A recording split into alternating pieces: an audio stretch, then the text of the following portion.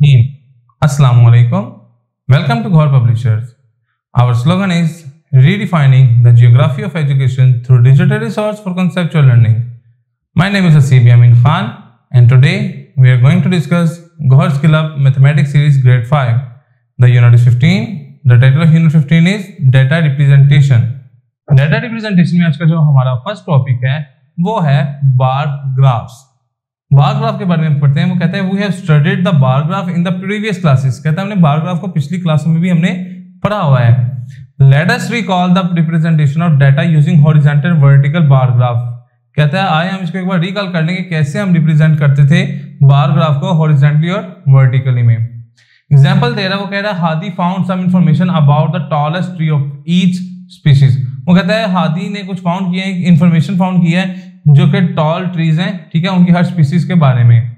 अब वो कह रहे हैं कि वो टॉलेस्ट ट्री कौन सा है? एक व्हाइट पाइन है, जिसकी हाइट 160 फीट है, फिर ब्लैक चेरी है 115 व्हाइट एश है 145 रेड स्ट्रॉस है 130 शुगर मैपल है 135 और फिर रेड पाइन है, वो कितना है? 115 Hadi organise the data he found in vertical bars graph to make a vertical bar graph कहता है उसने? वर्टिकल बार में लिखा हुआ है इसको वर्टिकल बार ग्राफ में बनाने के लिए। Use the data from the table to choose an appropriate scale start at zero कहता है हम एक अप्रोप्रिएट स्केल बनाते हैं, इसके मुताबिक जो कि ज़ीरो से स्टार्ट होगा, उनमें कॉमन डिफरेंस सेम ही होना चाहिए। Draw and label the scale on the vertical axis vertical axis पे उसको स्केल को शो करें। Vertical means up to down इस वाले पे कह रहे हैं। Draw the label of horizontal axis वो कह रहा है हॉरिजॉन्टल एक्सिस पे करें। Horizontal means across list the name of the each item जो ईच आइटम ईच ट्री है, उसका नाम इतना लेबल कर दें। Draw vertical bars to represent the data वो कहता है वर्टिकल बार्स आप लगाएँ क्या करने के लिए? डाटा को रिप्रेजेंट करने के लिए। टाइटल द ग्राफ ग्राफ का भी टाइटल भी दे दें। अब कह रहे हैं how can you use the bar graph to find how tall the red spruce tree is वो कह रहा है, बताएँ आप कैसे फाइंड करेंगे? सबसे जो टॉलेस्ट ट्री है, उसकी लेंथ वगैरह कितनी है? वो कह रहे हैं टू फाइंड हाउ टॉल वो कह रहे हैं फाइंड कि वो कितना लंबा है? Look at the bar labelled red spruce वो कह रहा है रेड स्प्रॉस के ऊपर देखें।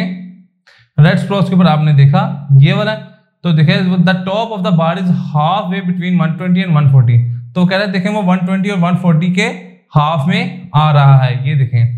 अब वो कह रहा था number that is halfway between 120 and 140 is 130 कहता है वो 120 और 140 के दरमियान जो हाफ़ में आ रहा है, वो क्या आ रहा है?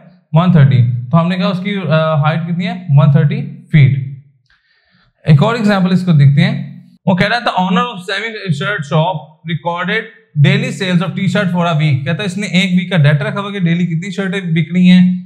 He then displayed the result in the bar graph उसने बार ग्राफ के अंदर उसको शो किया।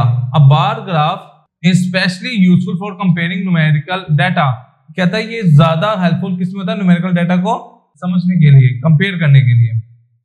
ये देखिए, उसने लिखा हुआ डेज़ लिखे हुए Monday Tuesday Wednesday Thursday Friday नीचे उसने नंबर ऑफ़ शर्ट्स लिखी हुई कि इतनी सी शर्ट सेल आउट हुई है।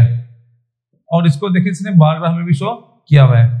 The bar graph shows the same information as table कहता है जो टेबल जो बार ग्राफ है, वो वही इन्फॉर्मेशन आपको देता है, जो कि टेबल में भी दी गई है। अब कह रहा हूँ minimum number of T shirt sold वो कहता है, किस दिन सबसे कम बिकी है, वो हमने देखा वेडनेसडे पे। अब वो कह रहा है कि मैक्सिमम किस पे बिकी हमने देखा फ्राइडे पे। अब वो कह रहा है कि how does the bar help us to find these questions कहता है किससे किसी हमें मदद देता है अपने आंसर फाइंड करने के लिए। The bar for Wednesday is the shortest bar वो ये शो कर रहा है कि उस दिन सबसे कम चली हुई है और जो टॉलेस्ट बार है, वो हमें क्या करेगी उस दिन सबसे ज़्यादा सेल हुई है। मल्टीपल बार ग्राफ क्या होते हैं।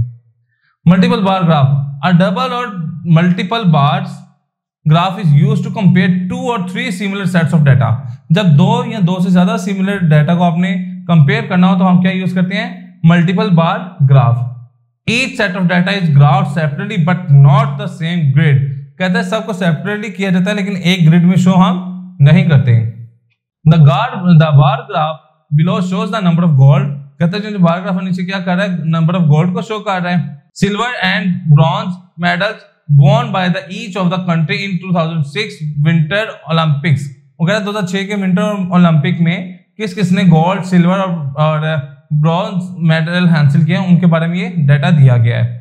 The number of gold medals won by the each country is what percent of all medal won by the same country वो कह रहे हैं कि जो नंबर ऑफ़ गोल्ड मेडल्स हैं वो वॉन बाय ईच कंट्री हर कंट्री जीते हुए is what percent of medal won by the same country तो कहता है वो देखना है कि दूसरे कंट्री ने भी वो कितने जीते हुए हैं। For which country was the percent greatest और देखना कि किसकी परसेंटेज सबसे ज़्यादा है। वो कह रहे हैं when data falls into different category जब डाटा को डिफरेंट कैटेगरी में फॉल करते हैं bar graph is good way to display bar graph एक अच्छा तरीका है उसको डिस्प्ले करने का।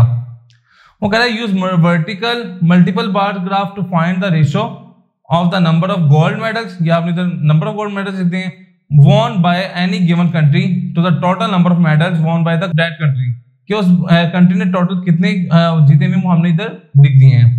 Then find and compare the percent उसको हम फाइंड करेंगे और फिर आपस में कंपेयर करेंगे। अब कह रहा है multiple bar graph compare relate set of data ये क्या करता है? ये सेट ऑफ़ डाटा को क्या करता है आपस में? रिलेट करता है।